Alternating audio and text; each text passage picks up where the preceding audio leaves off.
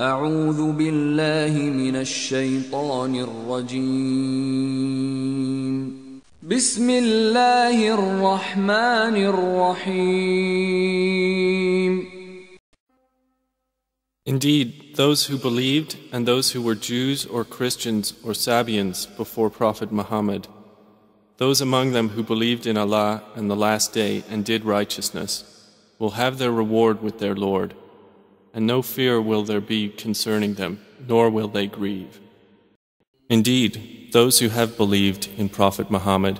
and those before him who were Jews or Sabians or Christians,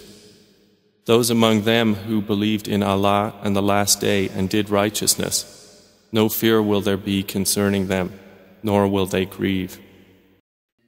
Indeed, those who have believed and those who were Jews and the Sabians and the Christians and the Magians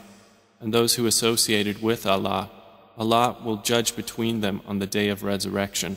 Indeed, Allah is over all things witness.